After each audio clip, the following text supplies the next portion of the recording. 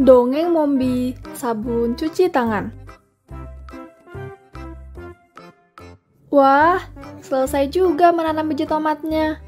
Aku haus, ucap Mombi. Aku juga, sahut Loli. Buka maskernya nanti dalam rumah ya, larang ibu.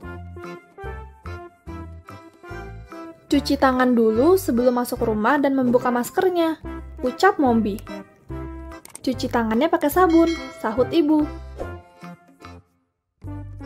Wah, sabunnya aroma jeruk kesukaanku, kata Loli. Loli pasti makin rajin cuci tangan deh, cetus Mombi. Ibu memang belikan sabun yang aromanya kalian sukai, ujar ibu.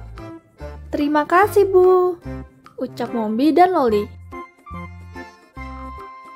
sabun cuci tangan aroma apa saja yang ibu beli? Tepat sekali. Ibu membeli sabun cuci tangan aroma jeruk dan stroberi. Sahabat Mombi pintar. Sampai jumpa di video dongeng Mombi selanjutnya ya. Dadah!